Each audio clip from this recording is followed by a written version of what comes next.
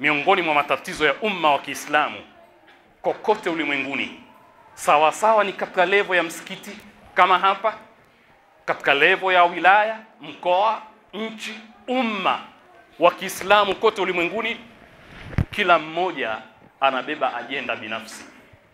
Hakuna anayetoka kuwakilisha ajenda ya umma, na ndiyo maana kwamba maendeleo yetu yanachelewa. Kwa nini Waislamu wa Tanzania hawana nafasi katika siasa ya nchi yao? Ni kwa sababu wanapopata fursa ya kukabiliana na wakubwa, yule anayepata fursa hiyo huwakilisha ya kwake, hubeba ajenda yake peke yake, husimulia matatizo yake binafsi, hasimulii matatizo ya umma.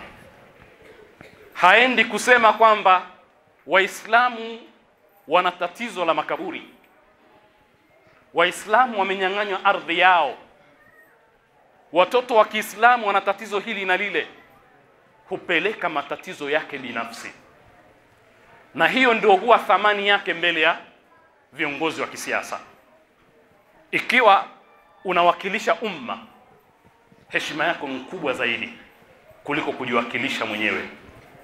Kiongozi wa kisiasa akigundua shekhe au kiongozi wa Waislamu anawakilisha ajenda ya umma, heshima yake inakuwa mkubwa zaidi kuliko yule kiongozi anayekwenda kuwakilisha ajenda yake binafsi.